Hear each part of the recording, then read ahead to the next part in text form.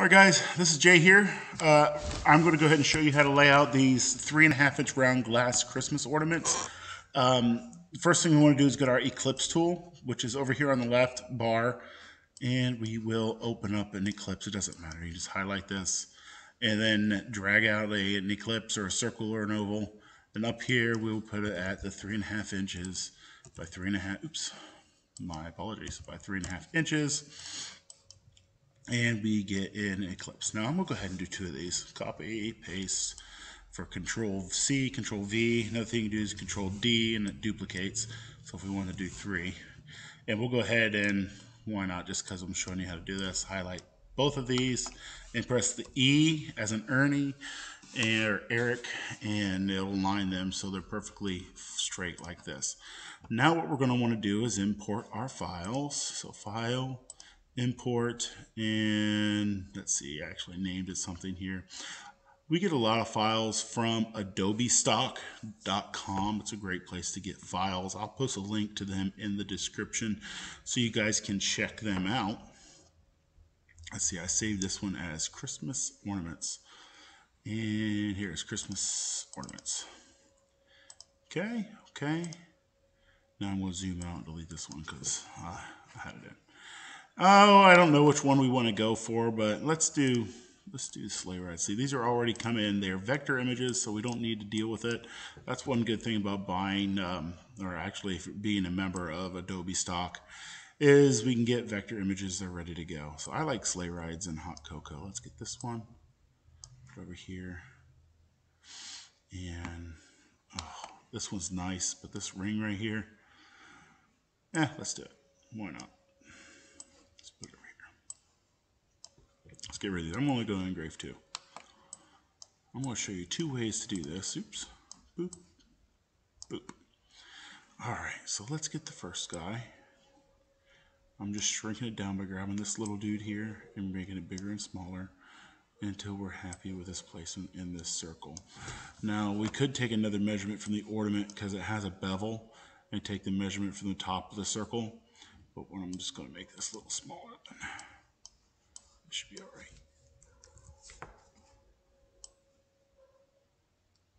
And we'll put it in here. So let's go ahead and group this together. Okay, since um, I gotta take a break here real quick. All right, even though it didn't feel like I was gone very long, I was running a CNC machine in the other room, and well, it crashed. So I had to go in there and take care of that. Where were we? All right, I think this is a good size. So this was all ungrouped. Uh, so what you want to do is press Control G and make sure your uh, vector image is grouped. And then now for me, what I do for settings for engravings, they, if you're using RDWorks or um, let's see, Ruida, uh, if you have a Ruida processor, the laser reads the outline colors and that's how it decides what to do. And you can program those colors to do different things and commands for the laser. So I have my engravings set up for uh, blue. So we'll click on this outline button up here on the top right and we'll put on a hairline outline and we'll drop down the color. We have to change it to RGB, always RGB, red, green, blue, red, green, blue. And that's what you, uh, your lasers read is RGB. Every laser I have reads RGB and they read the outlines. So I just make sure I get the same kind.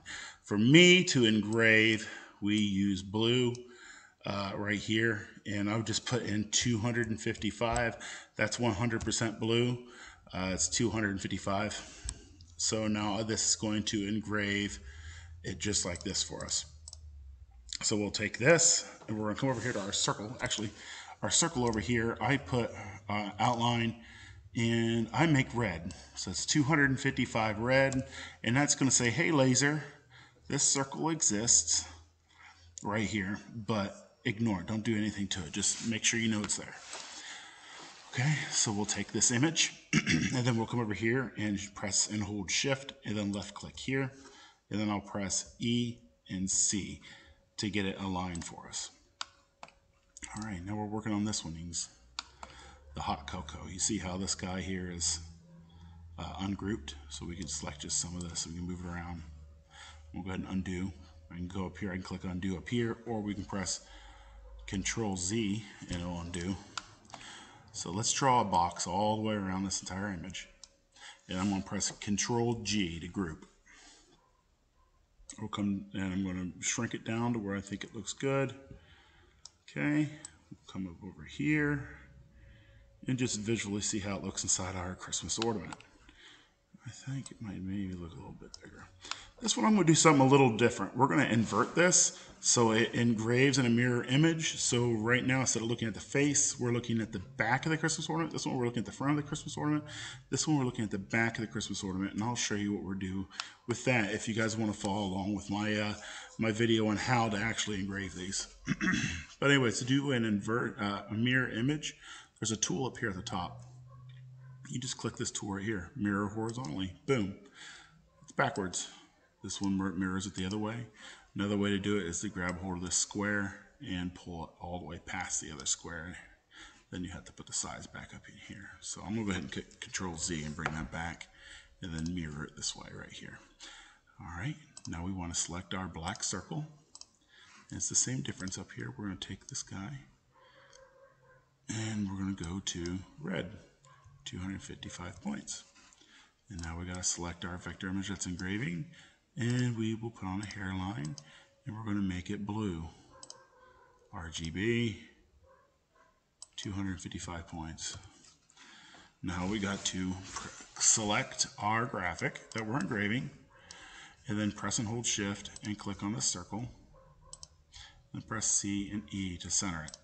Now we're ready to open this up and RD Works file export oh I'm gonna put it in October my A1 cut folder. I'm to run this on my blue laser. This is the laser you guys are used to me running.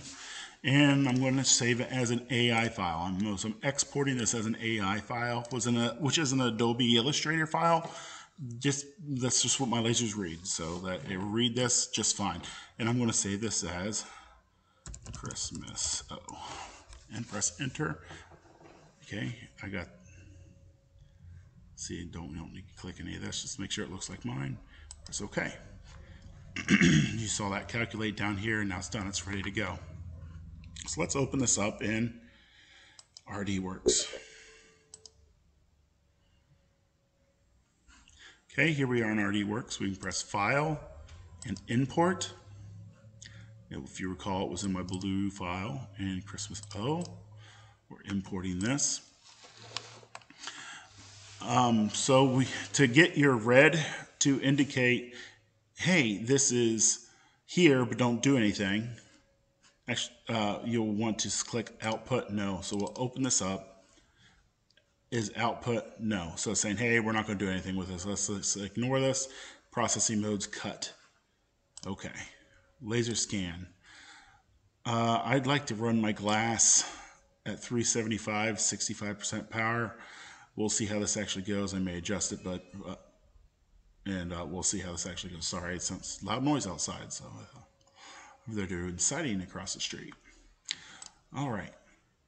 First thing we got to do is we got to mark these circles in our laser, so our, we know where in the world to set these um, Christmas ornaments.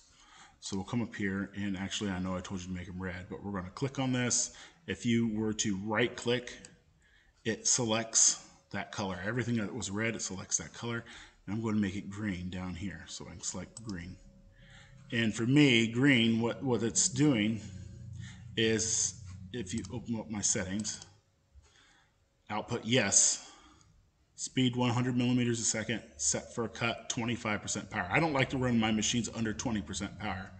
So I really light. So I, am going to put a piece of wood in and we're going to mark these down with the laser so we know exactly where these logos are going to fall. Uh, that's that way you get a perfect um, uh, graphic or an engraving. But first we're going to go into blue, right click on blue, and we'll make it red, which you know that red means don't do anything. All right, let's go ahead and run this on the laser. If you want to watch my other video, we're going to run this on the laser real quick. All right, welcome back. So we just marked out these two green lines on our uh, on our laser and now we're going to come back and change this all back around so we want to actually go to the red right click switch it back to blue and then we'll come to the green, right click, and switch it back to the red. Now we are ready to run this on the laser. So check out my other video of actually running this. Uh, I hope that you guys learned something from this. Thank you um, very much for your time. Uh, again, I'm Jay. This is my to-do list. Thanks for stopping.